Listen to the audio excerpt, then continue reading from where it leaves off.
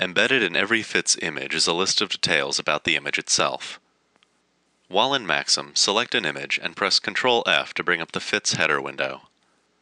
The FITS header window contains useful information about the image, from the exposure time, to the object observed, to the date and time that the image was taken, which is presented in Julian time, standard time, and local sidereal time. It also contains the right ascension and declination for the coordinates at the center of the image, as well as the object itself. Data in the FITS header can be a valuable resource for any observer.